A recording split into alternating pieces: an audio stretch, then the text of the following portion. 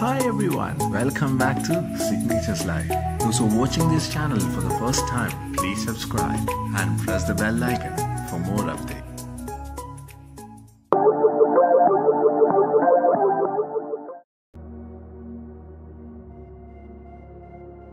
Kepler 1647b is a circumbinary exoplanet that orbits the binary star system Kepler 1647. It has 3700 light years from Earth in the constellation Cygnus.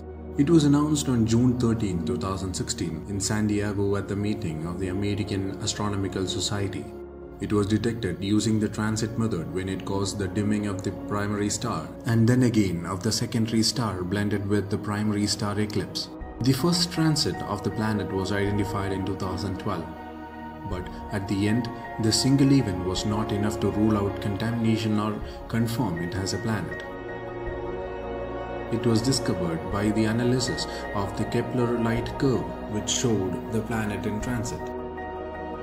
The exoplanet is a gas giant similarly in size to Jupiter and has an orbital period of 1107 days. This is the longest transit period of any confirmed transiting Kepler exoplanet discovered yet.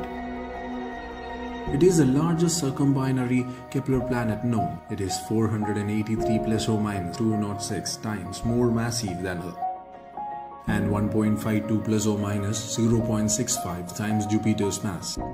The star system Kepler 1647 is a binary star with the primary star having a mass of 1.22, a radiance of 1.79 and a surface temperature of 6210 plus or minus 100 Kelvin. The secondary star, on the other hand, has a mass of 0.975, a radius of 1.79, and a surface temperature of 5770 Kelvin. In comparison, the Sun has a surface temperature of 5778 Kelvin. The binary star system's age is estimated to be about 4.4 billion years old, about 200 million years younger than the Sun. Kepler 1647b is in the habitable zone of the star system. Since the planet is a gas giant, it is unlikely to host life. However, hypothetical large moons could potentially be suitable for life.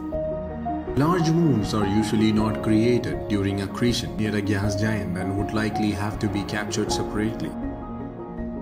A passing protoplanet got into orbit due to the gravitational field of the giant planet.